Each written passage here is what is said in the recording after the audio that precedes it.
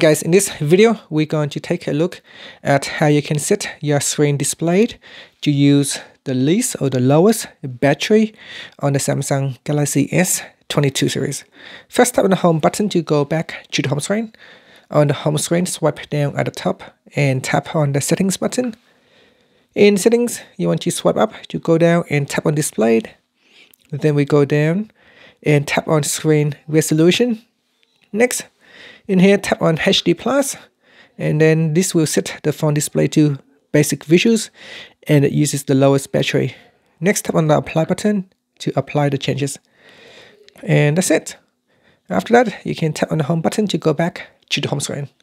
Now, if later you change your mind, you can always go back in here and change the screen resolution to um, to something better. So you can use uh, full high definition plus or you can use wide quad high definition plus.